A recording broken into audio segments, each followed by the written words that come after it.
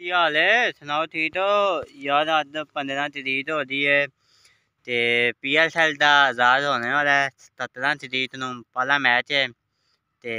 ਤੁਹਾਡਾ ਵੀਰ ਨੇ ਪੱਥੇ ਵੱਧ ਲੈਣੇ ਬੜੀ ਗਰਮੀ ਲੱਗਦੀ ਆ ਵਿੱਚ ਪੱਥੇ ਵੱਧ ਲੈਣੇ ਪਹਿਲਾ ਮੈਚ ਹੈ ਲਾਹੌਰ ਤਲੰਦਰ ਦਾ ਤੇ ਇਸਲਾਮਾਬਾਦ ਦਾ ਤੇ ਸ਼ੁਰੂ ਸ਼ੁਰੂ ਹੋ ਰਿਹਾ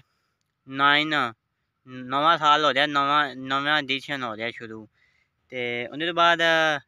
ਤੁਹਾਡੇ ਵੀਰ ਦੀ ਲਾਹੌਰ ਟੀਮ ਹੈ ਚੈਂਪੀਅਨ ਰਹਿ ਚੁੱਕੀ ਹੈ ਦੋ ਵਾਰੀ ਤੇ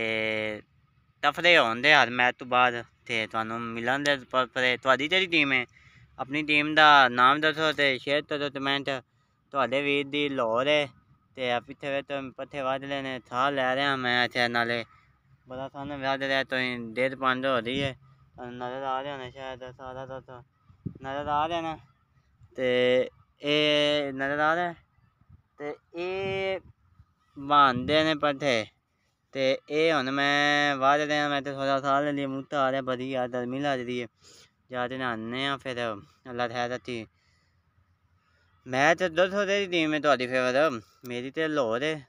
ਤੇ ਇਨਸ਼ਾਅੱਲਾ ਐਚ ਦੀ ਹੈਚ ਦਾ ਕਰਨੀ ਹੈ ਤੇ ਲੰਦਰ ਦਿਲ ਤਿੰਨੇ ਲਾਹੌਰ ਨਹੀਂ ਵਿੱਚ ਜੰਮਿਆ ਨਹੀਂ। ਇਸਲਾਮਾਬਾਦ ਨੂੰ ਮਾਰ ਦਿਆਂ ਦੇ ਤੇ ਅਲੀ ਹਸਨ ਦੀ ਤੇ ਅਸਦ ਸਮੇਤ ਦੀ ਟੀਮ ਹੈ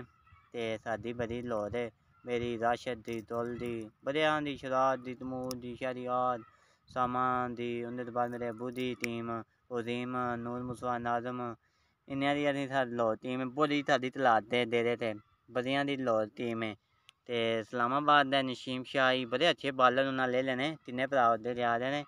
ਤੇ ਫਿਰ ਵਿੱਚ ਡੇਮ ਆਨ ਹੈ ਸਤਨਾ ਦੀ ਟੂਰ ਸ਼ੁਰੂ ਹੋ ਰਿਹਾ પીઆરટીઆની નાઇન એડિશન ते देखना ना भूलिए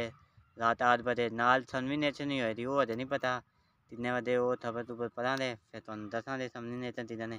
सत्रह तरीक न अज्ज ऐ पंदरां सोलां एह् दिन रह गए एह् दिन बाद डेमोन ऐ लेट्स गो